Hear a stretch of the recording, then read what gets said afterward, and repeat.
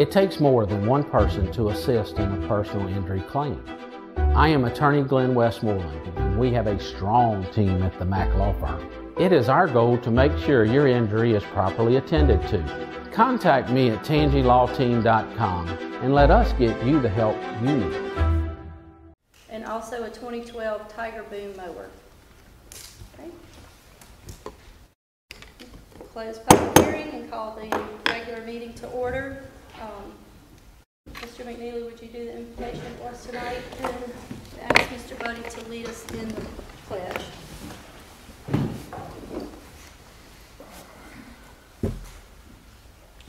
Father, we pause tonight to give you praise and to give you glory and honor as our Creator, as our Savior, as our Lord.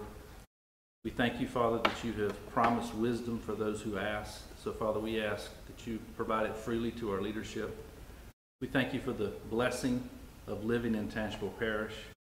We thank you, Lord God, and ask that you would bless our businesses, our employees, uh, all the workers, Father, our firemen, policemen, emergency responders. You would just continue to make this community strong. We ask during this pandemic, Lord God, that your healing hand would move upon all those who have been afflicted with COVID, that your hand of comfort would be for those who have lost loved ones who have passed on into your glory. We ask all these things through Christ Jesus our Lord. Amen. Veteran and active military ready for proper salute. Allegiance to the flag of the United States of America and to the republic for which it stands, one nation, under God, indivisible, with liberty and justice for all. Roll call, please. Mr. Morris? Mr. Matthews? Here. Mr. Joseph? Present. Mr. Bruno? Here. Mr. Ridgel? Here. Mr. Mayhew? Here. Mr. Wells? Here. Mr. Dion? Here. Ms. Hyde? Here. Ms. Coates? If you have a cell phone, please turn it off or mute it at this time. Um, Entertain a motion to adopt the minutes from the August 9th meeting. So move, Madam Chairman. All right, have a motion by Mr. Wells, second by Mr. Joseph. Roll call, please. Mr. Morris? Yes. Mr. Gracia? Yes. Mr. Joseph? Yes. Mr. Bruno? Yes. Mr. Ridgel? Yes. Mr. Mayhew? Yes. Mr. Wells? Yes. Mr. Dion? Yes. Ms. Hyde? Yes. Public input, anyone wishing to address an agenda item that was not on public hearing? All right, Have Mr. Miller come and give us his report.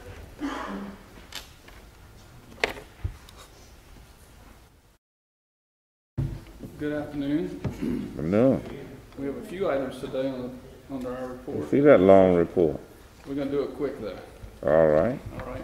Uh, first item is approval of the bid for the Pate Lane Bridge.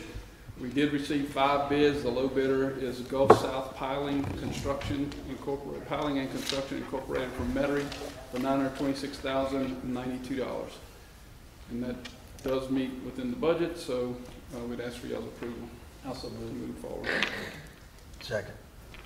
We have a motion by Mr. Vial, second by Mr. Mayhew. Roll call, please. Mr. Morris? Yes. Mr. Gracia? Yes. Mr. Joseph? Yes. Mr. Bruno?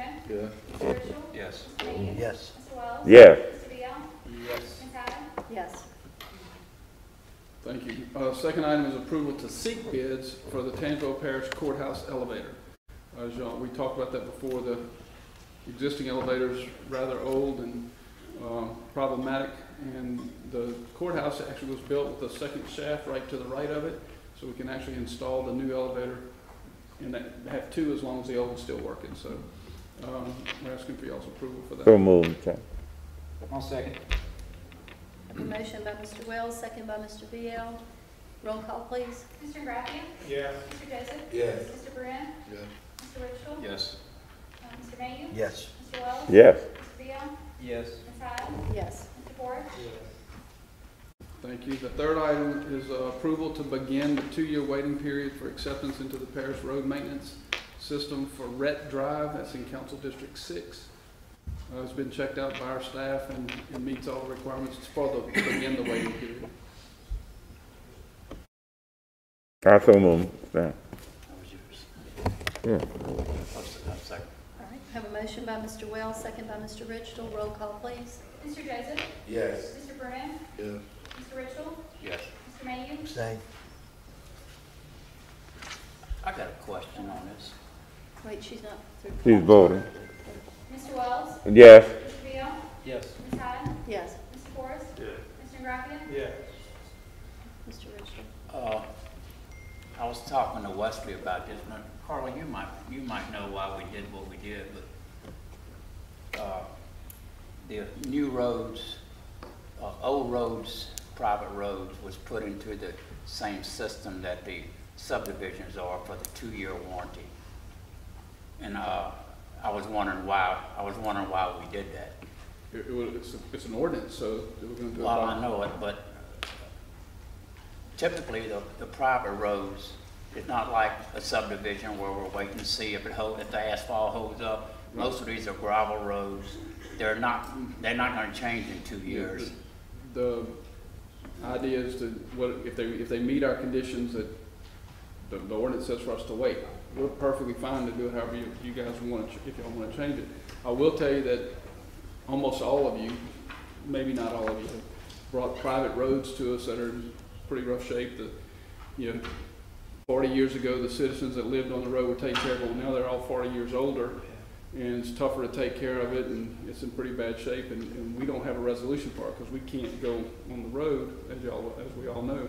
But, um, those folks are having a tough time getting up and down their streets, so I would, I'd love to see some ordinance, some, something out of the council to help us figure out how to resolve that for these, those situations. They, they still need the, the sixty-foot right-of-way and a twenty-foot road bed. Anything you guys say that they need, we need to, but I, I don't understand why we gotta wait two years for it. We have a meeting, I think, Thursday, and maybe we can address it during Okay, the. if y'all address it, Committee. of course, we'll administer it however y'all. Could we however go back on these maybe and change them If you- if we change If the you want, ordinance? um, can we go back and change it after we do it? Okay. Okay. I'll We'll add it address to it the Thursday. agenda for the meeting Thursday. I got one. Uh, You know, years ago, and uh, we used to do it, and for whatever reason, we quit doing it, but it, it used to solve some of these problems with these private roads. And what we used to have, uh, get was the, the doctor, we'd get a doctor's letter that that person may be, because in most cases, someone is either elderly or sick. And we used to get that letter from the doctor, which would allow the parish to go in there once a year and just grate the road, maybe put a little gravel on it, and that would allow for it to keep from us accepting the road into the system. Gordon actually got an opinion from the Attorney General that we can do it once a year. Yeah. That was like Well, fifteen. And we, I know we that- cut that out. I- Well, I know that whenever we came in office, the way we are today is the way it was, and this discussion was talked It about. was, that. yeah. I was getting those phone calls. Been that way. And, and it stayed, in it's, it's still that, it's still the way it is I- today. I The way think- we're operating right now is the same. I think that would be a, a much better situation than accepting these little roads. Because, you know, you take a little road like that, sometimes there's no more than three or four Well, people on it, you Well, know? Like Mr. Buddy said, if they, if, if they have to give us the sixty-foot right-of-way and, and, and get it in, in condition for us to turn it over to us, it's not gonna happen. Yeah. because But if we did this to where, you know, they get some kind of, from emergency services vehicle can't get down it, or someone's ill, we get that letter from the doctor, it would allow us to do it once a year. And a lot of times you do it once a year, you may not have to do it for three or four years, because there's just not a lot of traffic on them, you know? Isn't it though, Carter, that once the, the blade hits that road, it becomes? No, but it would fall under this ordinance that says we would only do it Right. with the excuse. Wasn't that the case though at one time that? once Yeah, that- well, if You you have to did maintain it, it for- if you maintain it not for three once. years. Not Yeah, once. yeah, It had to be So a A year maintained. period. Not just Okay. one. It had to be maintained for a number of years. And, and an- another critical thing about the situation with these people living on the private road, most of these people live in the parish all their years and they pay taxes. Right. And so Well, I we got really need to I'm bringing address at the next meeting, it's got twelve homes on the road. It's not as if it's one or two houses. John's got one with eight on it, and it's the Yeah. same thing. Yeah. This would be, I think if we went back to that, it would be a lot easier than us taking all of these little roads in. Right. You know, so maybe y'all can look at that as the committee, We'll put it on the agenda for Right. Thursday. Because, uh, it worked really well all those years we used it, and then we just, Well, whatever. You know, obviously, as the administration, we're gonna do it however we want, but at the same time, we can't do it unless we have the Right, authority, so. yeah. All Okay. right, uh, the fourth item um, is another one of these roads, uh, Carlos Drive, but um, Ms. Coates has some discussion she wanted to have, so we're gonna, we're not gonna address that, item number four. Do we need to vote on that, or can we just, can I just? I move that we table number four. we have- Mr. We have a motion to table item number four until Ms. Coates can be here by Mr. Wells, if somebody will second that. Second. Roll call, please. Mr. Forrest? Mr. Graffia? Yes. Mr. Joseph? Yes. Mr. Burnett? Yes. Mr. Ridgel? Yes. Mr. Mayhew? Yes. Mr. Wells? Yes. Mr. Vial? Yes. Ms. Hyde? Yes.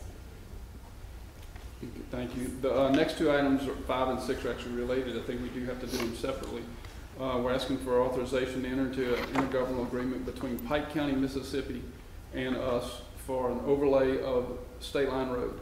We've been working with them, Andy, I guess, almost two years trying to get in touch with them to work on that, that, um, this joint venture intergovernmental agreement. All of a sudden, it's gotten, um, very fast for them and very urgent. They're trying to get us to get it done before the end of the year. So, um, if we can get the authorization for the intergovernmental agreement, then we'll deal with the approval to seek bids to overlay it next. Yeah, I'll, I'll still move, this, the, the road actually does separate. It goes in, it it goes, it's Tangipahoa and in Mississippi, it kind of goes up and down the line. So So they're gonna pay for half, one pay for half. I'll second. Have a motion by Mr. Forrest, second by Mr. Graffia. Roll call, please. Mr. Graffia? Yes. Mr. Joseph? Yes. Mr. Burnett? Yeah. Mr. Ridgel? Yes. Mr. Mayhew? Yes. Mr. Wells? Yes. Mr. Vial? Yes. Ms. Hyde? Yes. Mr. Forrest? Yeah. Thank you. And then the next one is approval to seek bids to overlay uh, State Line Road. So moved. Second. Motion by Mr. Forrest, second by Mr. Graffia. Roll call, please. Mr. Joseph? Yes. Mr. Burnett? Yeah. Mr. Ridgel? Yes. Mr. Mayhew? Yes. Mr. Wells? Yes. Mr. Vial? Yes. Ms. Hyde? Yes. Mr. Forrest? Yes. Mr. Graffia? Yes. Thank you. Um, Then lastly, uh, your financial reports are there on your desk, and we emailed it to you too. If you have any questions, always please ask. We'll Give you all the details to answer that. And uh, if you don't mind, uh, just for comments, um, our COVID numbers here at North Oaks are, um, I think it's two weeks ago, we were at 109 folks in the hospital with COVID conditions. Today, we're at 85. Uh, It did kind of bump up and down between 109 down to eight, uh, 91, then back up to 104, and now today we're at 85. Uh, Thursday, or uh, Saturday, we were at 80, 87.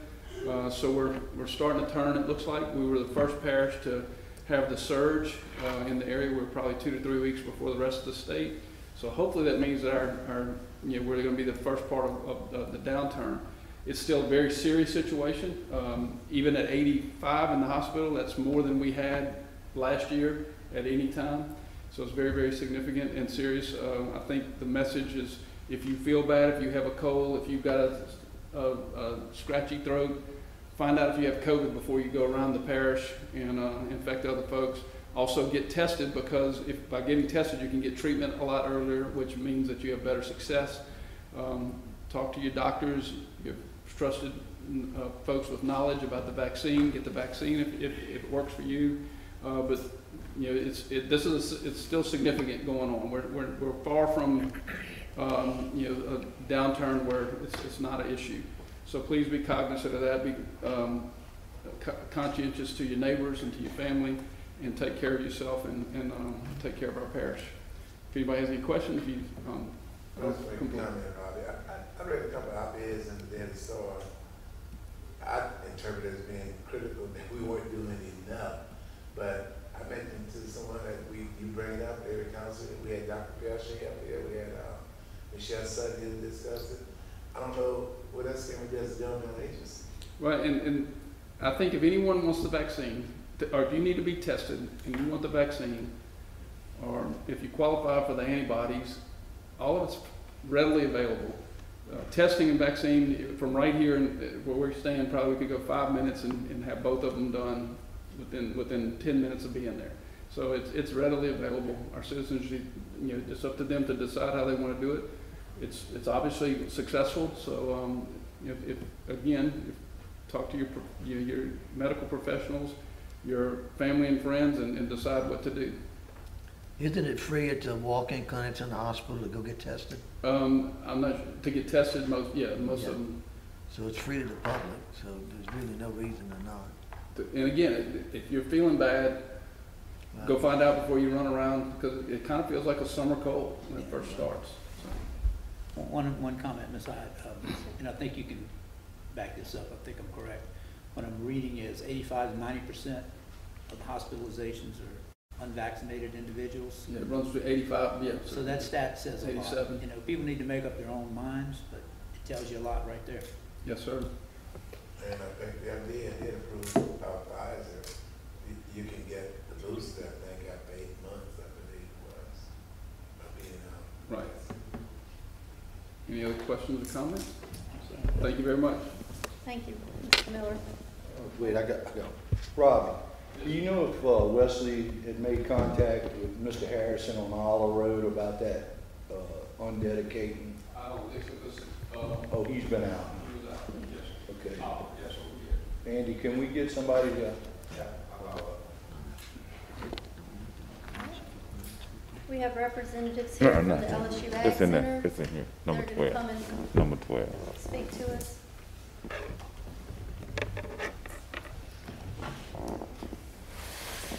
All right, first, I would just like to thank the council members and Parish President Robbie Miller for having us here. Um, before I go into my spiel, because I know I don't have much time, I just wanted to introduce all of us that are from the LSU Ag Center office right here in Amite. Right here, I have Miss Megan Roberts, she is our 4-H agent, and her co-partner right here is Miss Dawn Culbert. Miss Dawn just joined us here in January, but she's no stranger to being 4-H. She was the 4-H leader um, here in our parish, and before, and right after that, she was in St. James, correct? So we're lucky to have her back in the parish, and we're super excited to have her. And I know I think Miss Mary, Dr. Mary Helen Ferguson back there, she is our horticulturalist. So if you guys have any of those horticultural questions, we've got her here to um, answer those questions if you have any. And then again, um, if y'all don't remember me, my name is Whitney Wallace, and I'm the Southeast Regional Forester for the LSU Ag Center. I'm stationed here out of Tangipahoa Parish, but I'm also the parish chair. Last year I was interim, but this year I am the parish chair. So I help everything with administrative through our offices. So I know the timer's on, and I don't have a lot of time, so I'm going to go fast, right? So I just wanted to remind y'all, the LSU Ag Center, it focuses on research, extension, and teaching. Um, we want advancements that will benefit generation after generation. So our educational efforts, they span between nutrition, health, food safety, gardening, disaster preparedness, storm recovery, youth development, managing insects, natural threats, economic development, resource conservation. I could go on and on. We just, we do a lot. So who do we provide that to? We provide it to individuals, families, businesses, schools, industry, local governments with valuable information at improving economic conditions, general wellness, and quality of life. So what we do is outreach that improves lives. That is what we do. So anywhere from the horticulturalist that, you know, solves your carpenter bee problem, or the forestry agent that, you know, helps save your beloved oak tree, or solves your nuisance wildlife problem, or the nutrition educator who teaches your child a healthier lifestyle, or the 4-H advisors who inspire your child's growth. So um, these are our extension agents of the LSU um, Center. Every day we are out in the parish. We are fielding questions from homeowners, farmers. We're hosting programs, holding classes. Um, we're working in the community. We're working in the schools. We're building partnerships, and we're applying this research from the Ag Center scientists straight to this parish to enhance everyday lives. So um, I've got uh, folders for each and every one of y'all. I'm not going to bore y'all with a lot of the details, but if you want to know a little bit more about what each of us do out of that office, those reports and impacts are in there for you to read over. It's very great, and you can see just a little snapshot of what we do every day, and we're very proud of that. And so we just wanted to come here today to give that annual report to you guys to let y'all know how valuable, you know, what we're bringing to the citizens of, of you know, Tangipahoa Parish. So um, with COVID, we had to change up our model a little bit. So instead of the more traditional model of teaching classes and working with families one-on-one, we had to look for different ways. That included virtual, that included hybrid methods. Um, we had to look at innovative approaches to get that information out to the people. So um, we have reached out to entire communities to make it easier for people to live a healthier lifestyle. So Who funds us? LSU Ag Center is funded by a partnership with federal, state, and local governments, such as you guys, grants, contracts, and private funds. So I know I don't have a lot of time because I want these guys to talk right behind me, so I'm gonna fly through some of the highlights. So a lot of the crop varieties are developed by Ag Center to help producers yield, um, increase yield. We have master programs like the Master Farmer Program, the Master Gardener Program, and Master Cattleman. We've also recently had the Master Horseman couple years ago here at the um, arena. We teach resource conservation, environmental stewardship. Farmers, ranchers, backyard gardeners can participate in all of these voluntary programs and take a series of courses that include classroom instruction, on-site observations, and hands-on techniques that improve production practices. So um, a lot of our programs, one of our biggest is the Master Gardener Program, and I'm not sure if y'all are very familiar with that, but that is a volunteer-based program. They are an arm, an extension of the Ag Center. So the more we have those guys on our side and we can teach them, the more that they can be an outreach and an arm of us. So we are very proud of our Master Gardeners and the help that they've given us, and they've stayed strong through COVID, so we're very proud of them.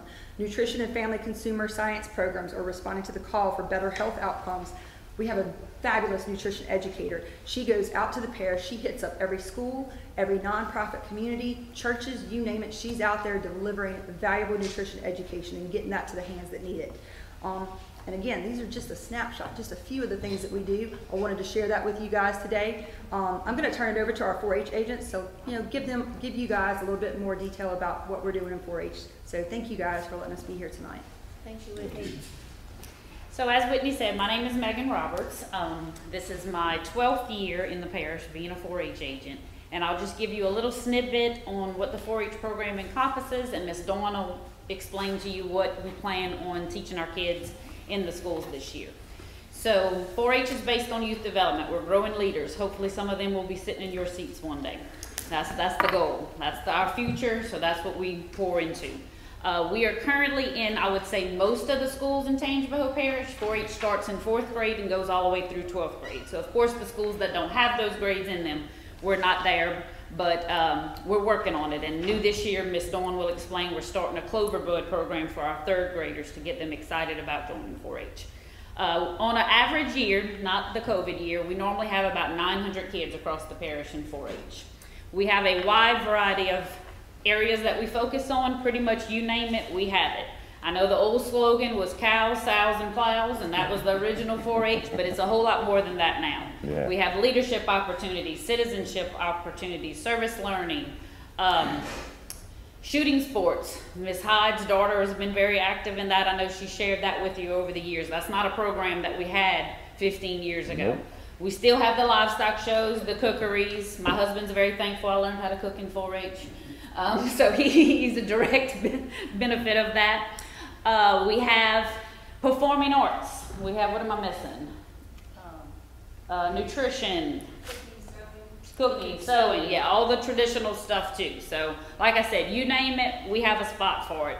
A lot of the kids say, oh, I can't be in 4-H, I don't have a cow. You don't have to have a cow anymore to be in 4-H. We have a whole lot more than that. So Ms. Dawn's gonna go over what we, when we go to the club meetings, we will present an educational program at each meeting. And she's gonna go over that in our Cloverbud program. Okay, so when we enter the, the club meetings, we go over the traditional stuff, but then we also present a program. And each year we have a different topic. So this year our topic is going to be financial literacy. So it is a topic I think all of y'all can probably agree. The kids are not being taught this in school, and we're talking basic. We're talking how, how do you write a check? Yes, we don't use checks very often, but they still need to know how to write it. What's the difference between debit and credit? These are things that the kids are not being taught. So that is our focus this year. It, we will start in the fourth grade, so we will have a different program for the younger ones based on the high school. Um, but it will just kind of give them a general overview of an area that they're, they're lacking within the school system. Um, and I mean, I know that just from my own children, having to teach them, and you know, they're like, well, how do you write a check? And I'm like, you don't learn this in school anymore, and you don't.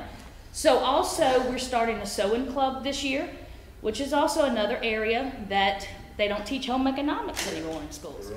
So we're so we're really excited about that. I was able to get um, new sewing machines, so now I just need a teacher and of course, I'm gonna take this opportunity to put that out there.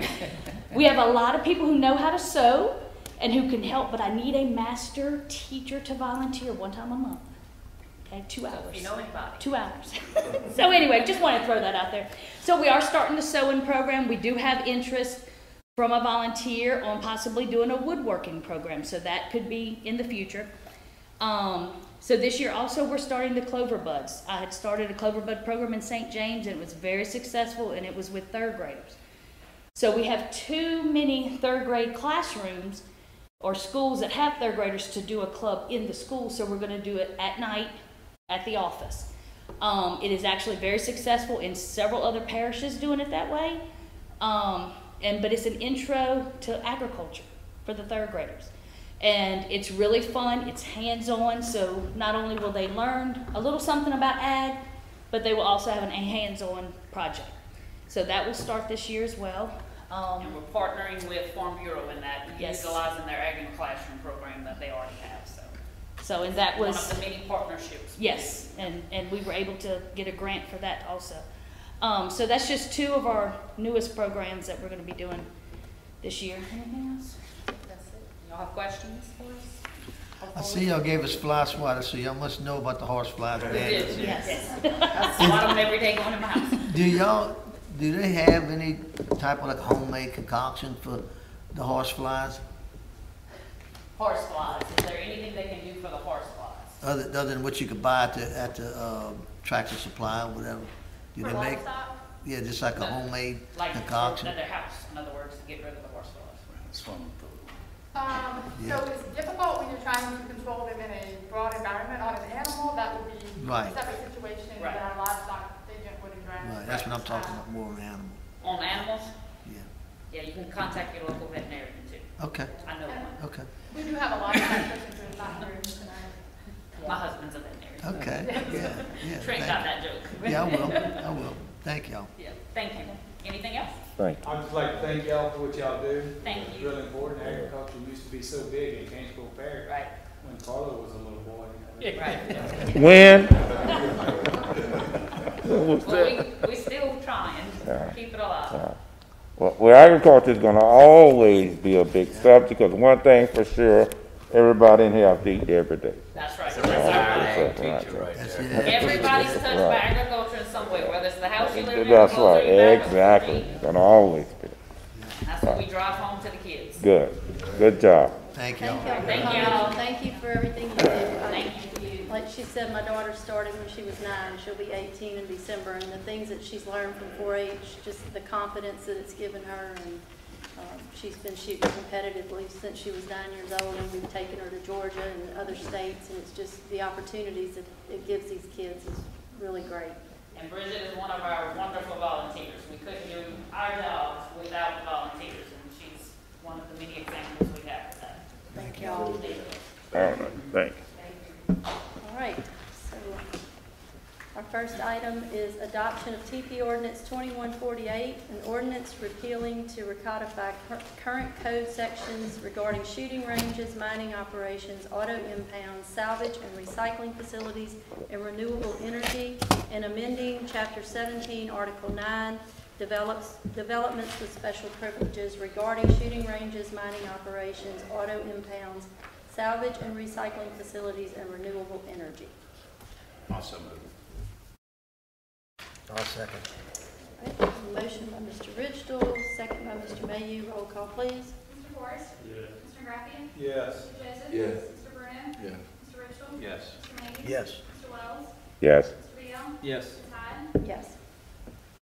Adoption of TP ordinance 2159, an ordinance placing no parking on shoulder signs on Duvick Lane in chap, in uh, District 9. I'm, I'm sorry, District 10. This is Kim's. of- I, I'll make that motion. I'll second. All right, We have a motion by Mr. Wells, second by Mr. Joseph. Roll call, please. Mr. Graffian? Yes. Mr. Joseph? Yes. Mr. Bruno?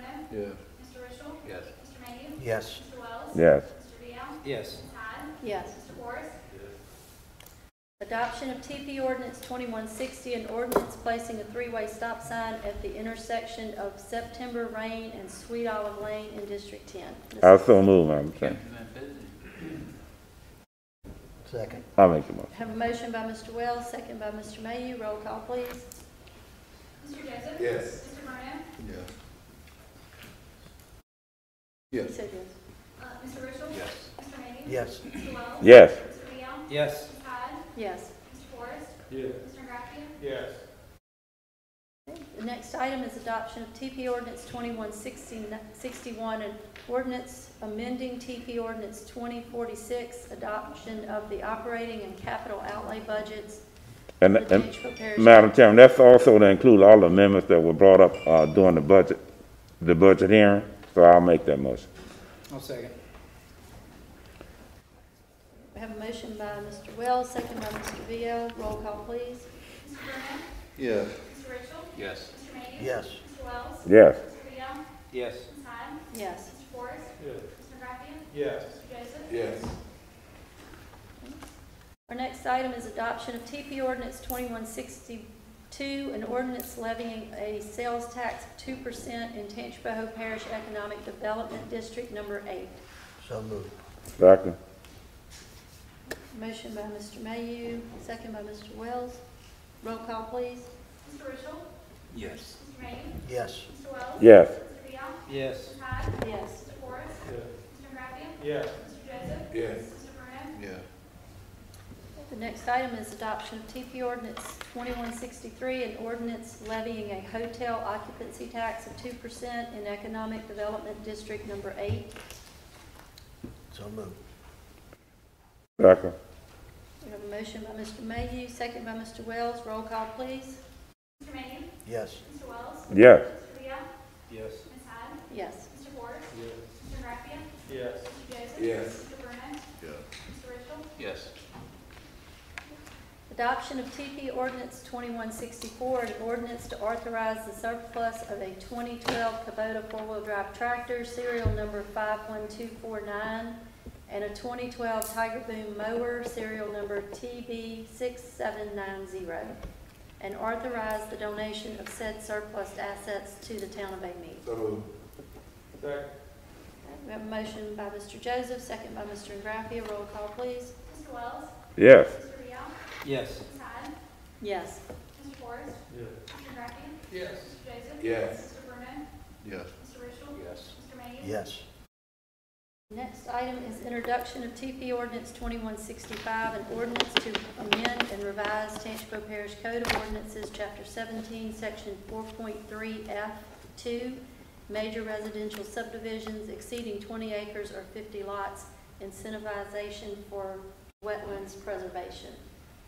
This is just basically a housekeeping item where the language, um, wasn't consistent between the title and the body of the ordinance. So moved, Madam Chair. Second. We have a motion by Mr. Joseph, second by Mr. Vial. Roll call, please. Mr. Beal? Yes. Ms. Hyde? Yes. Mr. Forrest? Yes. Mr. Graffia? Yes. Mr. Joseph? Yes. Mr. Burnett? Yeah. Mr. Russell? Yes. Mr. Mayhew? Yes. Mr. Wells? Yes. Introduction of TP ordinance twenty-one sixty-six, an ordinance to grant a variance to Tangipahoa Parish Code of Ordinances, chapter seventeen, section seventeen five point eight, other improved, improvement standards for commercial property development to Tangi East LLC and DSLD Homes in District Eight. Yeah, that's in my district. Uh, this is looked at by the TRC. Uh, it's a small commercial development, uh, that will have an entrance and exit off of, uh, off of uh, Highway four forty-five, and they requested two additional entrance and exits, uh, through the side of the commercial business. We're only gonna give them one, okay, because it's a double lane boulevard street. It's already got some commercial traffic. So that's what it will allow them to do, allow them to have that entrance and exit off of, uh, a, uh, double boulevard, and also one off the highway. They can have the one off the highway, this is one in our ordinance, it says we have to have a variance if we're gonna give them the opportunity to do that. So, also move. Second. All right, we have a motion by Mr. Vial, second by Mr. Mayhew. Roll call, please. Mr. Forrest? Yes. Yes. Mr. Joseph. Yes. Mr. Bruno. Yes. Mr. Yes. Mr. Mayhew. Yes. Mr. Wells. Yes. Mr. Beal. Yes. Ms. Yes. The next one is adoption of TP Resolution R2116, a resolution in support of resuming federal offshore leasing in the Gulf of Mexico. So moved. Oh. You have any comments about it any questions? Mm, okay. I think we need to do it. It has to do with PACE, our, our parishes, coastal parishes, and, Yeah. the- and actually the Gulf Coast states are all, uh, trying to do this with all the local counties and, and. uh, Should have never stopped it. Thank you very much, I agree. You know, motion by Mr. Bruno, Second. second by Mr. Ingraffia. Roll call, please. Mr. Graffy? Yes. Mr. Joseph? Yes. Mr. Waterman? Yes. Mr. Ridgel? Yes. Mr. Mays? Yes. Mr. Wells? Yes. Mr. Biel? yes. Ms. Hyde? Yes. Mr. Forrest? Yes. I have one comment on this. Yes, sir. Yeah, we're shutting down oil and gas production in the United States, but the leader of our country is asking other countries to ramp up their production. To me, this makes zero sense, okay? Absolutely no sense. Mm. Gas was a dollar sixty-one a gallon, what is it, three now? So, Well, I think it's becoming more clear he has no sense.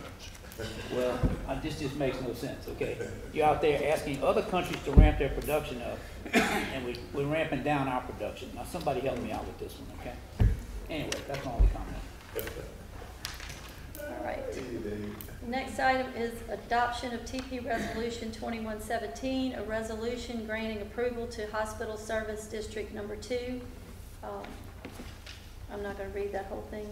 Well, I like to make that motion, Madam Chairman. We discussed this at nauseam two weeks ago, so there are no questions from the council. I'll second that. Motion by Mr. Joseph, second by Mr. Wells. Roll call, please. Mr. Joseph? Yes. Mr. Bruno? Yes. Mr. Ridgel? Yes. Mr. Mays? Yes. Mr. Wells? Yes. Mr. Biel? Yes. Ms. Hyde? Yes. Mr. Forrest? Mr. Graffy? Yes. I'm Madam Chairman. Brad, you don't have anything to add to this, do you?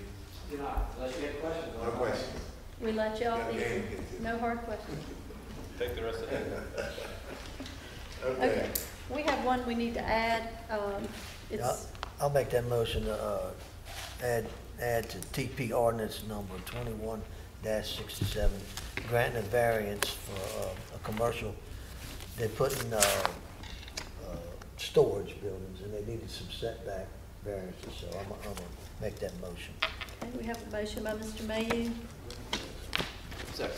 second by Mr. Ridgel to add this to the agenda. Roll call, please. Mr. Graffy? Yes. Mr. Joseph? We're adding, did, did they have a copy of it in It's a the? grant. It's in the It should pack. be at the back. It's, no, no, it's not in the packet. It was passed out. Oh, okay. Yeah. Yes. Okay, Bruno? I'm good. Twenty-one sixty-seven. Okay. Mr. Bruno? Yes. Mr. Ridgel? Yep. Mr. Mays? Yes. Mr. Wells? Yes. Yes. Yes, okay. We have introduction of TP ordinance twenty-one sixty-seven, an ordinance to grant a variance to Tangipahoa Parish Code of Ordinances, chapter seventeen, section 17-5.8, and other improvement standards for commercial property development, and section 17, 5.7 D and E, general commercial property development setbacks and buffer areas for Albany boat and RV storage in Tangipahoa Parish, District Six. I'll make that motion. I'll second. Joey, exactly what are they asking for? They're asking for some setbacks off the, by the railroad and from each side. This is Uh, on one ninety? It's off of one ninety, yeah, and it's got this, there, there's a little side road, George Stewart Road. It, it, no homes right there by it. So what's the, So- diff- what's the variance change? I'm just curious. It's, it's, I think the variance was, what was it, Tracy? It was setbacks along a railroad and a side street. Right, Like how, how From much? are they 25 asking? feet. yeah, Five to ten. yeah. And one, of- on the, on one side, it was only, they're exiting out only with the RVs, not coming in and out. So it really didn't, I didn't see a problem with traffic or anything like that, so, all right? Roll call, please. Uh, Mr. Wells seconded it. Mr. May, you made the motion, and Mr. Wells. Uh, Mr. Ridgel? Yes. Mr. Mays? Yes. Mr. Wells? Yes. Mr. Biel? Yes. Ms. Yes. Mr. Forrest? Mr. Yes. Mr. Joseph? Yes. Mr. Bruno? Yes. The last item is the 2021 trick or treat hours, which will be from 5 to 8 on Sunday, October 31st. Uh, Beer, wine, and liquor permits, we don't have any. Damn, you early, Rick. That wasn't me. Legal matters, Nothing? All right. Councilman's privileges, Nothing. Do we have to vote on the trick or treat out? No. We usually do. Just to make, Do you wanna, go ahead, Rich, you make your motion.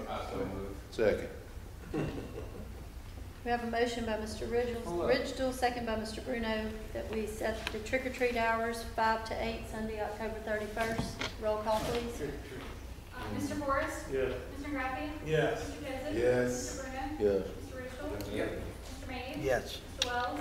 Yeah. Mr. Beal? Yes. Ms. Hyde? Yes. All right. I want you to know for thirty years, Mr. Ridgel has been known Yep. as Mr. Halloween. Yeah? You gonna tell us the story, or? No, No? I'll have. Not, not now. stay too much time. Not now. Um,